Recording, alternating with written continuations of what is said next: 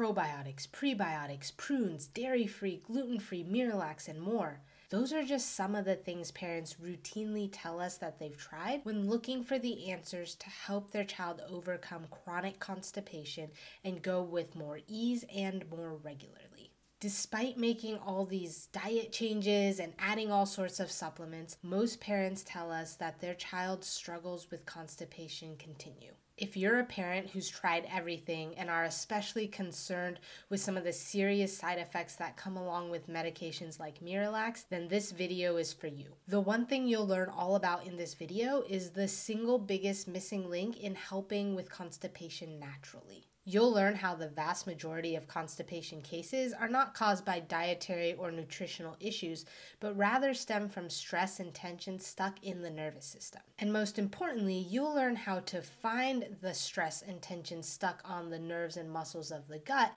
and what can be done to help relieve it. So please share this video with other moms or parents that you know need to hear this message. Moms like Luca's mom. Poor little Luca had a broken poop button early on in life, and now while there isn't officially a poop button in the body, there is a cluster or what we call a plexus of nerves in the neurospinal system whose job is exactly that stimulating gut motility and opening the door, if you will, for a child to go poop. After trying everything else from diet changes to supplements for Luca, turns out it was a stressed out and subluxated nervous system holding him back all along. So let's learn all about what subluxation and this missing link for kids with constipation really is. Now, the first thing parents deserve to know is that there are multiple options for caring for constipation naturally without medications like Miralax, which come with a whole host of side effects. Some of the natural options focus on dietary and nutritional changes, while others focus on finding and relieving stress and tension stuck in the nervous system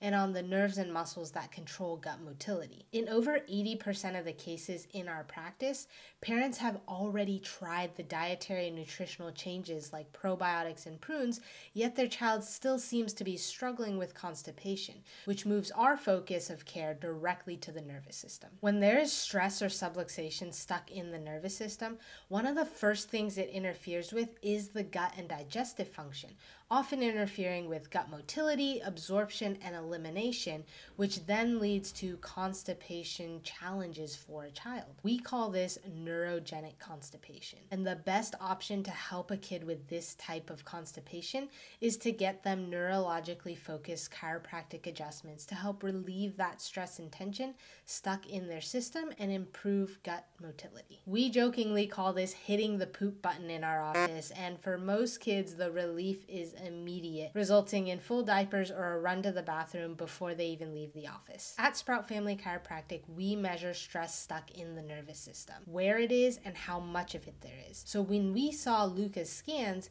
we weren't that surprised that he was still struggling with constipation, even though he had already tried dietary and nutritional changes. His scans showed major stress stuck in the vagus nerve, which is responsible for resting and digesting. When the vagus nerve is stressed out, it turns down, which means that the functions it controls, like gut and digestive motility, also get turned down. The other area of major stress stuck in Luca's nervous system was in the lumbosacral area, where the other half of the parasympathetic or rest and digest nervous system lives.